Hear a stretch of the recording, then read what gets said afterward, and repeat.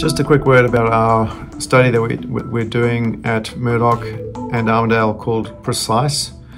What does it stand for? It stands for Personalised Preoperative Cycling Exercise Regime for Patients Awaiting Total Knee Arthroplasty.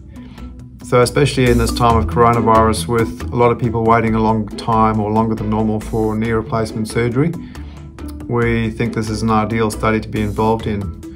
Who should apply? Well, people who have symptomatic knee arthritis who are being considered for knee replacement surgery and who either want to avoid surgery and or who else want to do as best as possible with surgery. That's really the target that we're aiming at.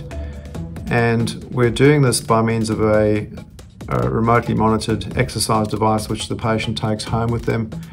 We can then titrate exercise as, as a medication as such because we know that exercise has effects that are very much like a medication. So we're trying to measure a dose response curve with exercise in patients before or who are being considered for knee replacement surgery.